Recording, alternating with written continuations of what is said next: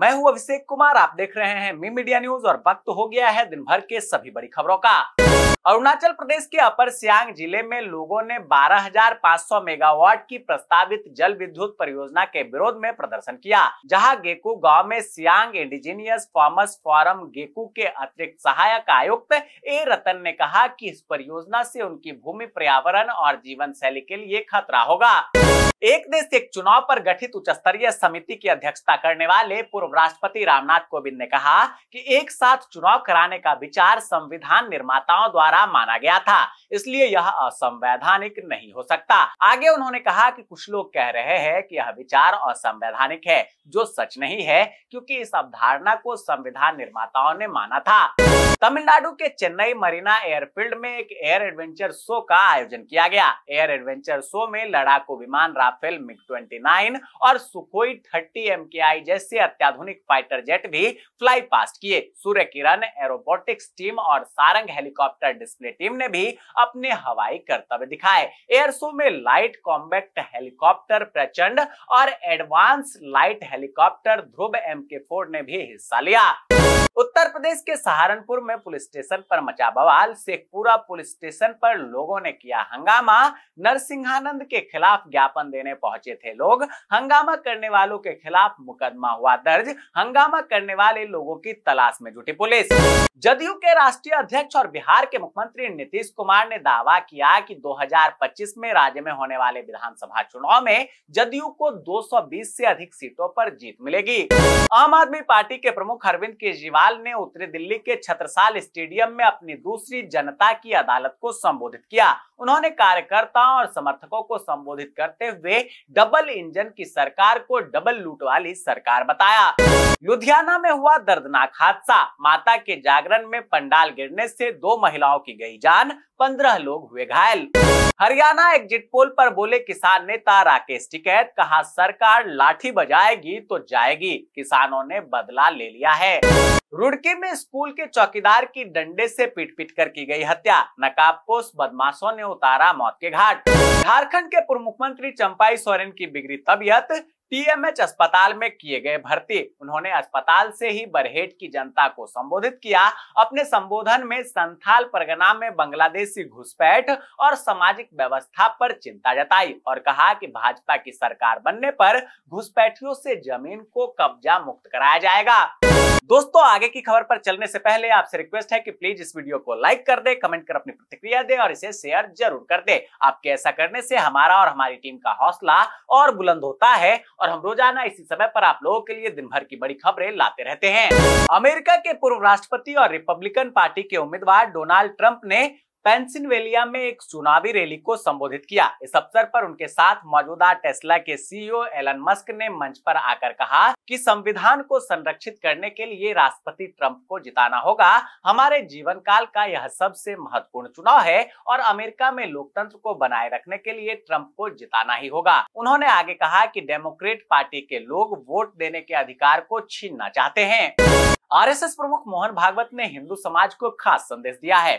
भागवत ने कहा कि अगर सुरक्षित रहना है तो भाषा, जाति और प्रांत के मतभेदों और विवादों को खत्म करने के लिए एकजुट होना होगा।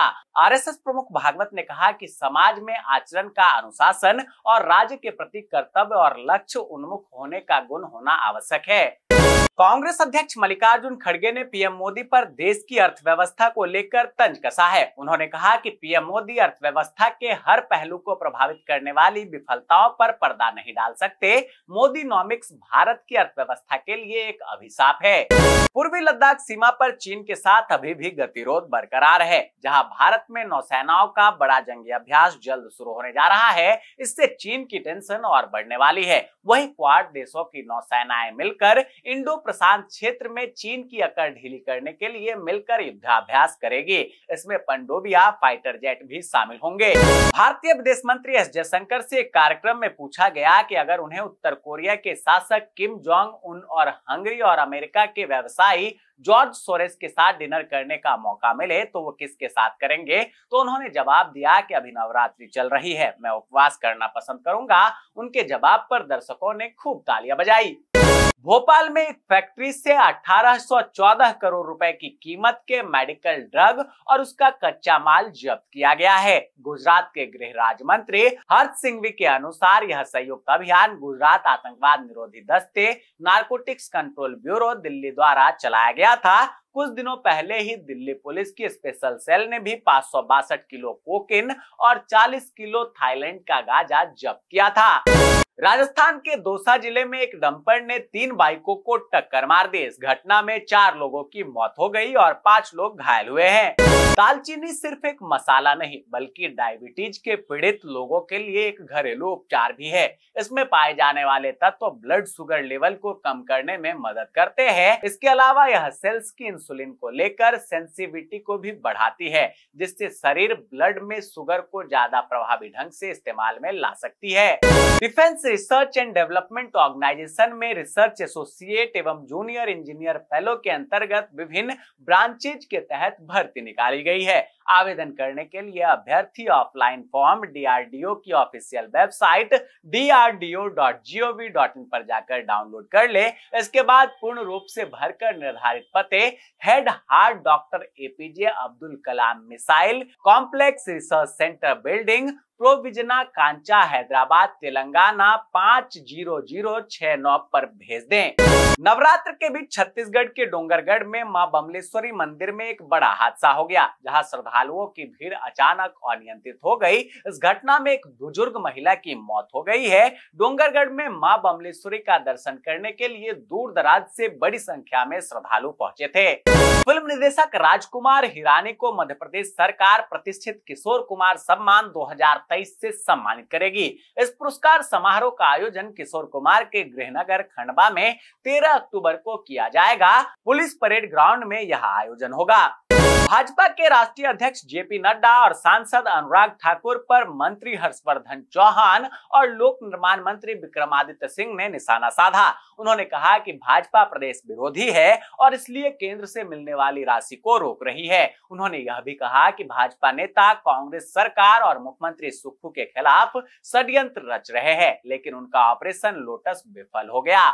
दक्षिण कश्मीर के नंदीमार्ग, सोपिया ज़िले में 21 साल बाद अर्धनारीश्वर मंदिर में एक बार फिर घंटियों की आवाज़ गूंजी। मंदिर में आरती का दिया जला और पूजा अर्चना भी की गई। यह वही नंदी मार्ग है जहाँ वर्ष 2003 में लश्कर तैयबा के आतंकियों ने ठीक मंदिर के सामने चिनार के पेड़ के नीचे 24 कश्मीरी हिंदुओं को मौत के घाट उतार दिया था। पश्चिम बंगाल की जेलों में दुर्गा पूजा के दौरान कैदियों के व्यंजन सूची में बदलाव किया गया है। दुर्गा पूजा के दौरान कैदियों को मटन बिरयानी, बसंती पुलाव और कई अन्य बंगाली व्यंजन परोसे जाएँगे। एक अधिकारी ने बताया कि यह योजना इसलिए बनाई गई है ताकि कैदी खुद को उत्सव से वंचित महसूस न समझे। पैगंबर मोहम्मद के खिलाफ कथित आपत्तिजनक टिप्पणी को लेकर डासना देवी मंदिर के महंत इति नरसिंहानंद बुरे फंस गए हैं। इति के विवादित बयान को लेकर महाराष्ट्र में थाने पुलिस ने एफआईआर दर्ज की है। पुलिस के अनुसार पुजारी इति ने कथित तौर पर उनतीस सितंबर को गाजियाबाद के हिंदी भवन में आयोजित एक कार्यक्रम के दौरान पैगंबर मोहम्मद पर आपत्तिजनक टिप्पणी की थी। जी हाँ दोस्तों, मैं देख पा रहा हूँ कि आप में से अधिकतर लोगों ने इस वीडियो को लाइक किया है, कमेंट कर अपनी प्रतिक्रिया दी है और इसे शेयर भी किया है, लेकिन अभी भी कुछ लोग बाकी है, इसलिए उनसे रिक्वेस्ट है कि प्लीज़ आप भी वीडियो को लाइक कर दे, कमेंट कर अपनी प्रतिक्रिया दे और इसे शेयर ज़रूर कर दे। दोस्तों, ये थी दिन भर की बड़ी खबरें। ऐसे ही खबरों से अपडेट रहने के लिए चैनल पर नए हैं तो अभी चैनल को सब्सक्राइब कर लें, नोटिफिकेशन बेल के ऑल ऑप्शन को दबा दे, वीडियो को लाइक और शेयर करना बिल्कुल ना भूलें, ताकि देश और दुनिया की हर इंपॉर्टेंट खबर सबसे पहले आप और आपके जानने वाले तक पहुँच सके।